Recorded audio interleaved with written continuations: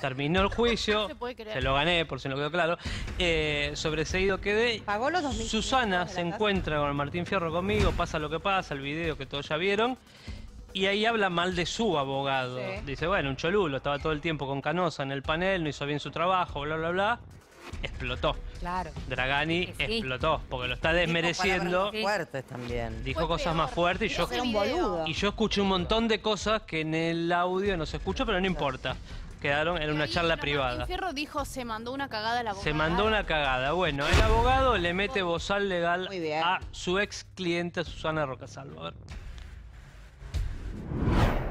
Bueno, ante todo, debe privar el principio de confidencialidad entre cliente y abogado y este caso, a pesar de las circunstancias, no es la excepción.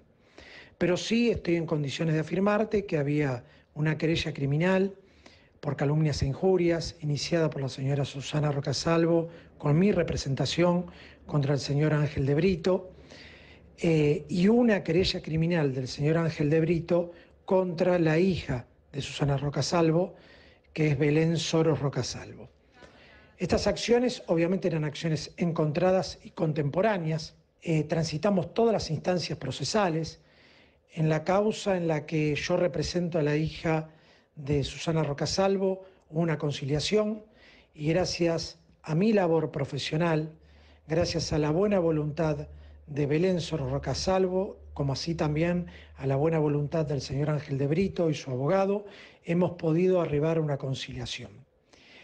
Y esa causa llegó a buen puerto y a buen término y evitamos el debate oral, lo que habría sido una complicación para la hija de Susana y una eventual condena, gracias a mi gestión fundamentalmente, y vuelvo a repetir a lo de los profesionales intervinientes.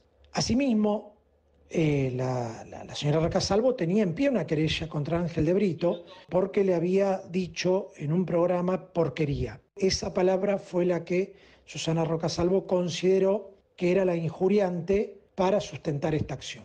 El tribunal consideró que era inadmisible.